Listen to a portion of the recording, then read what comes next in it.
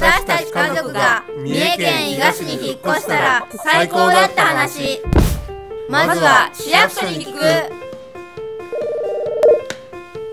伊賀には移住専門の担当者がいて親身になって話を聞いてくれるから安心できた。相談は電話だけじゃなくビデオ通話メール実際に会いに行く。どれでも OK だったいろいろ話を聞いて頭の中を整理したら今度は一日移住体験ツアーに参加しよう。現地に足を運ぶことで移住後の理想の暮らしがイメージできるはず。そして実際に引っ越した後は交流会もあって新しい仲間にもたくさん出会えた。夜までゲームをせずに早く寝て朝早く起きて朝ゲームをやること。移住を考えている人は三重県伊賀市本当におすすめです。